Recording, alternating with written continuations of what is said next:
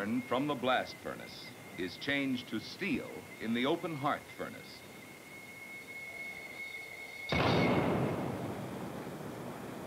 When the open hearth furnace is tapped, the metal is ready to be cast into solid blocks of steel, which are called ingots. The molten steel is poured or teemed into these large cast iron molds.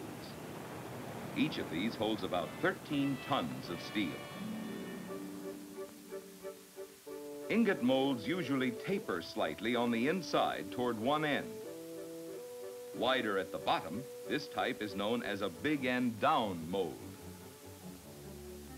Others are of the big end up type. Some have a top section insulated with fire brick. These are known as hot tops. Molds may be square, oblong, oval, or round. During teeming, small amounts of aluminum are added to control the amount of gas given off by the liquid steel as it cools in the ingot mold. Once the ingots have been poured, they are left where they are until the steel solidifies properly.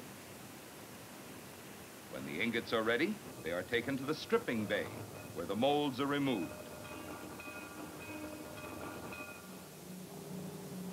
The ingots are stripped by a crane which lifts the mold.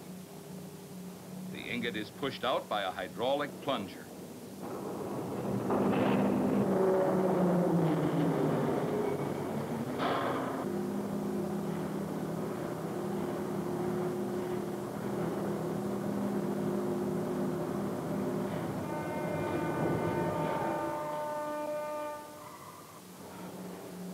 Before the ingot can be rolled, it must be reheated. This is done in a furnace called a soaking pit.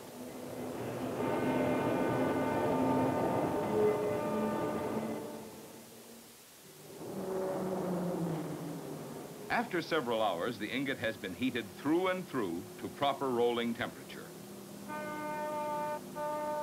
When the ingot is ready for rolling, it is placed on a buggy, the pot car, which takes it to the primary rolling mill.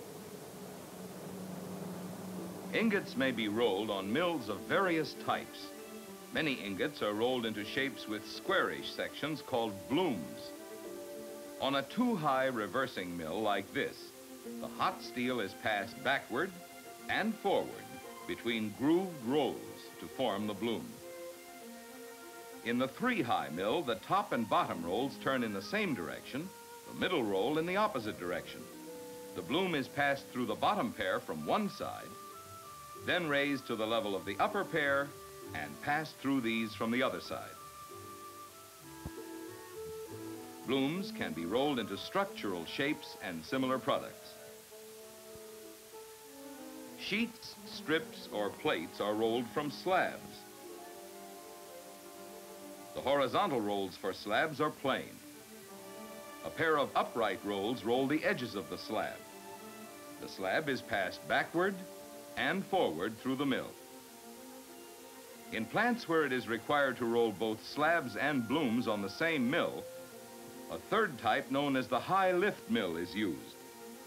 For milling blooms, there are grooved passes. Slabs are rolled between the flat sections of the rolls. The edges are rolled by turning the slab on edge. The high lift housing allows the rolls to be separated far enough to take the width of the slab. The pot car carries the ingot from the soaking pit to the rolling mill.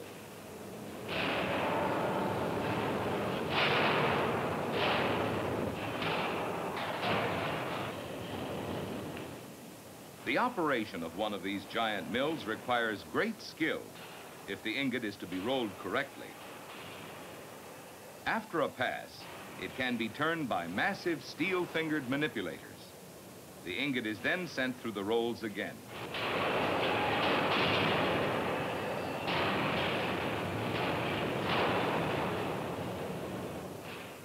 All the movements of the rolls and the ingot are controlled by an operator in a pulpit above the mill.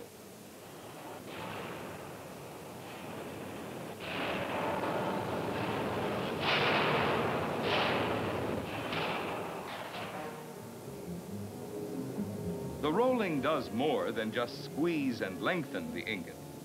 The pressure of the rolls flattens and stretches the original grains, which reform as a close-grained structure, giving improved characteristics to the steel. Rolling has changed the ingot into a long slab.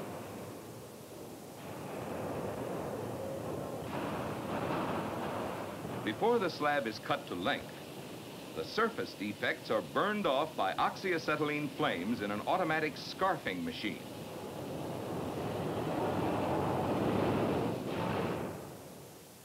The slab is then cut into suitable lengths before going to the slab storage yard.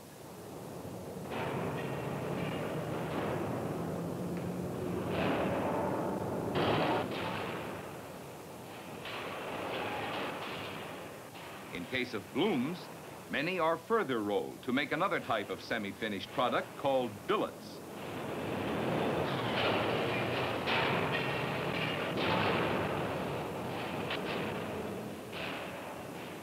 Here a bloom is being rolled before moving to the billet mill.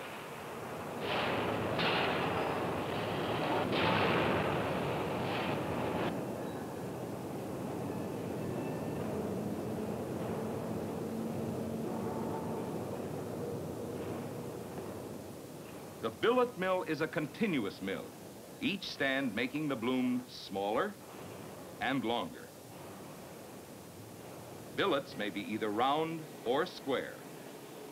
Square billets may be rolled into round rods for making wire. Round billets may be used to make seamless steel tubes. Both types of billets are used to make many other steel products.